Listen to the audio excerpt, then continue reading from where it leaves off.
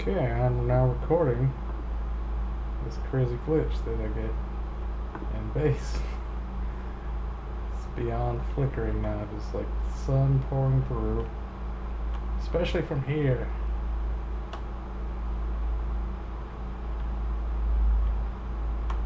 Sue AMD confirmed. Fuck me. How do you even play this game with graphics is bad? Like, look in there, it's like dark because it's so bright over there. You got any news drivers?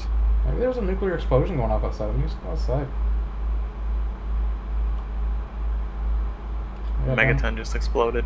Downloaded the beta drivers. It's got the newest like March 1st update. Oh shit. Oh god damn.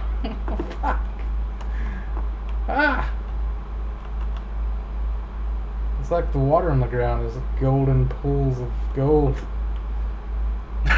Ripples of gold.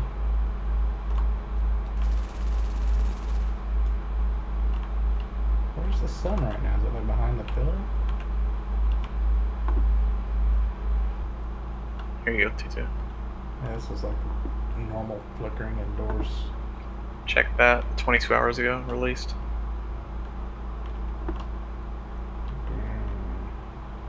They didn't fix shit, it says.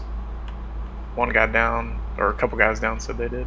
I read one thing that said if you disable tessellation or something in the hardware, Oh, you should disable tessellation anyway. It's a process hog. it did it, didn't fix anything.